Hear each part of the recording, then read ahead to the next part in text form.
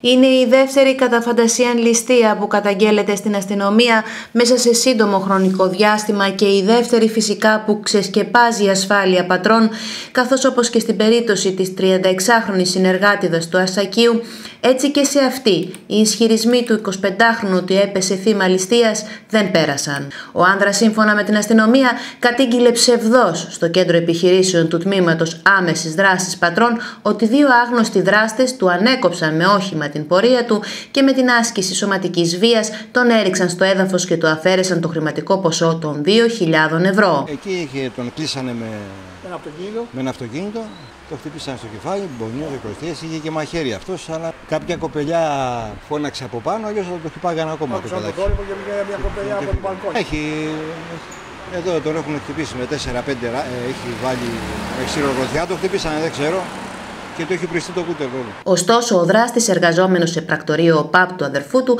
έχασε σε στοιχήματα το χρηματικό ποσό των 2.400 ευρώ και κατήγγειλε τη ληστεία για να καλυφθεί. Για τη διερεύνηση του περιστατικού και την εξυχνίαση της ληστείας συγκροτήθηκε εξειδικευμένο κλιμάκιο αστυνομικών της Υποδιεύθυνση Ασφαλείας Πατρών, το οποίο μετέβη άμεσα στον τόπο του περιστατικού, όσο και στο νοσοκομείο για τη συλλογή των απαραίτητων στοιχείων και πιστηρίων της υπόθεσης. Στο πλαίσιο της ενδελεχούς προανάκριση που διενήργησαν οι αστυνομικοί, συγκεντρώθηκαν αποδεικτικά στοιχεία υπό το βάρος των οποίων ο 25χρονο ομολόγησε ότι σκηνοθέτησε τη ληστεία σε βάρος του προκειμένου να δικαιολογήσει τα χρήματα που αφαίρεσε από την επιχείρηση του αδερφού του.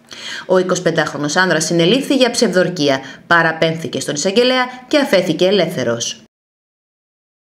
Αν μας δώσετε ένα λεπτό από το χρόνο σας, θα σας δώσουμε τρία χρόνια από το δικό μας. Γιατί στο Δούβρι δεν αγοράζεις, επενδύεις.